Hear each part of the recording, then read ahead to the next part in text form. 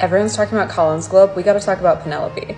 This is the best she's ever looked. And I love all the subtle tweaks that you see the hair and makeup department doing. This is a main character and also a woman who is discovering her sexuality, who is coming into her own.